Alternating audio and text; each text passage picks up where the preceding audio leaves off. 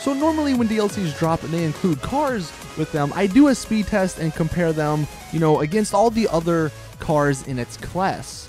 This DLC, however, is different because you don't really race lowrider cars and there is no need for knowing really how fast it goes. So what I wanted to do instead, because there's not much to really compare, is a hydraulics comparison. As I'm sure many of you guys already know, the hydraulics are fairly expensive. The top end ones cost upwards of $250,000, which isn't cheap, especially if you want to customize the rest of the car and you don't have that much money. So in this video, I compared the four options you're given. The first one, the standard one, that's $75,000 all the way to the top tier one at $250,000. And at the end, I will give you my opinion on which one I think is the best for you to spend your money on. One thing I do want to mention is that this test isn't like 100% accurate. You can just see the results. I mean, if you were like really hardcore, you could like measure the different points uh, of which like the hydraulics lift you up.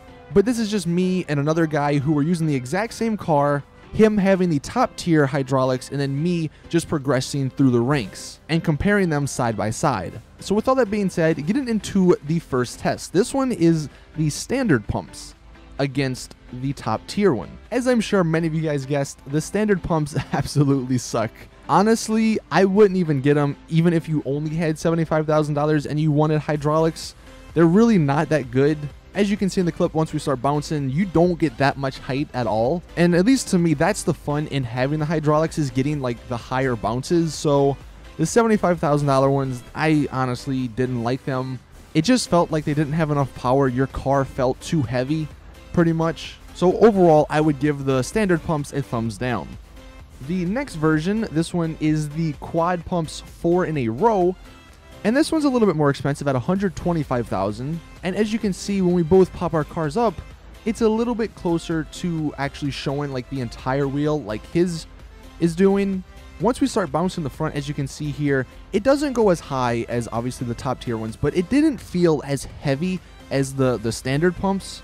And as you can see, if you time the jumps right, you can still get some pretty decent air with these $125,000 pumps. So in conclusion, I would say that if you're really struggling on money, get these instead of the standard ones because they're only $50,000 more. That's not that much. And you will be able to enjoy the hydraulics a lot more than the standard ones. Moving into the third tier, this one is the Quad Pumps 2x2, and it is $200,000.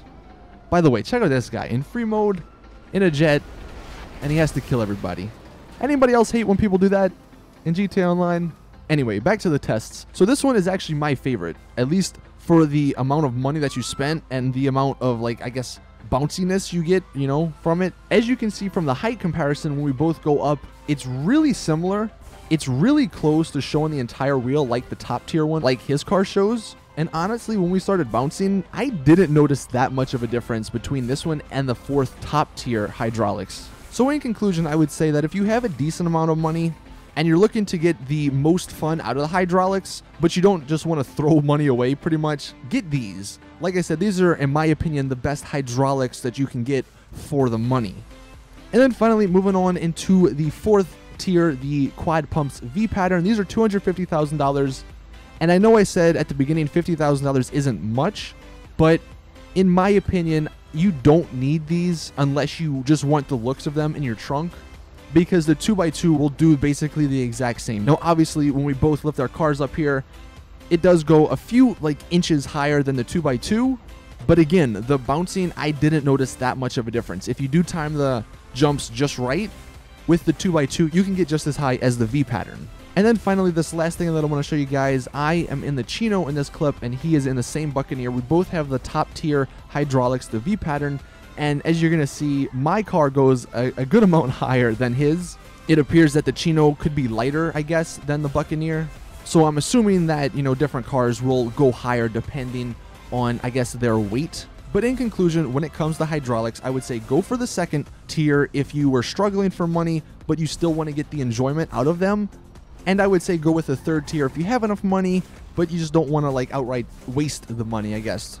Unless you're getting the hydraulics for their looks, performance wise, I would say the third is just as good as the fourth. Anyway, that is it. Hope you guys enjoyed. Let me know if you have any questions or concerns or anything in the comment section. Hope this video helped you out because I know there's been a ton of people, especially on Twitter, telling me they don't have enough money, and I hope this helped you figure out which hydraulic system, if you were going to buy one, uh, to get. So, see you guys in the next video. Drop a like, subscribe, all that stuff. And as always, thank you guys for watching. I'm out. Peace.